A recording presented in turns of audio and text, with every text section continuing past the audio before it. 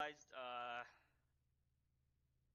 Era, if you can, when you're done, try to carry him. We're gonna Yep. be uh, we're gonna be moving to LZ Para for now. Right, he's stable enough to move. He's ah. still not. Yeah, that'll be a no.